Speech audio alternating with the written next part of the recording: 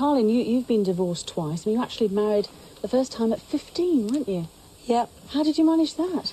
Well, it was pretty easy, I tell you. It it's like either, when you're 15, you're either completely in love, as much as you can be when you're 15, or you're dumb, or you're pregnant. And I was all of them.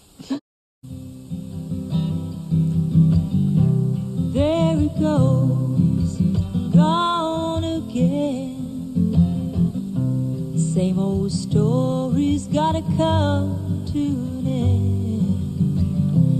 Love and him was a one-way street, but I'm getting off where the crossroads meet.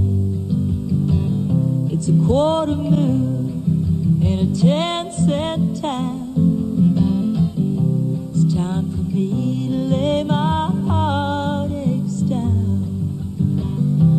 Saturday night, I'm gonna make myself a name.